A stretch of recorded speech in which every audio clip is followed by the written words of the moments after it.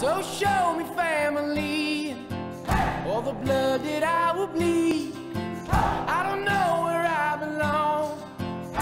Olá, vizinhos! Sejam bem-vindos de volta aqui no 81 Gourmet. A receita de hoje será um molho de uísque que ele é muito bom. Você pode usá-lo com um aperitivo, assar uma carne, molhar petiscos. É, eu já usei ele também num Chester que ficou maravilhoso e pincelando ele aos poucos.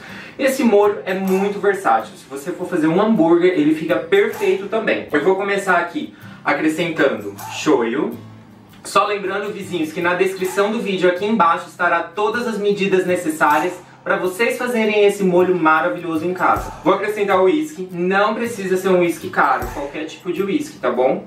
Extrato de tomate, mostarda Dijon ou qualquer outro tipo de mostarda, mel, pimenta síria ou páprica picante. Vou mexer tudo isso em fogo baixo aproximadamente por 5 minutos até todo o álcool evaporar.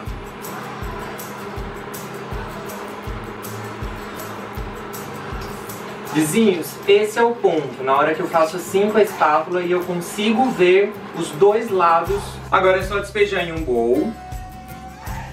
E o nosso molho de uísque está pronto, agora é só deixar esfriar um pouquinho, colocar na geladeira, ele vai dar mais aquela encorpadinha e está perfeito para você comer com hambúrguer, com uma carne. Espero que vocês tenham gostado desse vídeo, não se esqueçam de se inscrever, comentar, curtir, compartilhar. Ative o sininho de notificação aqui embaixo que assim que postarmos qualquer vídeo vocês serão os primeiros a saber. E claro, se fizer alguma receita aqui do nosso canal, use essa hashtag. Até o próximo vídeo, vizinhos!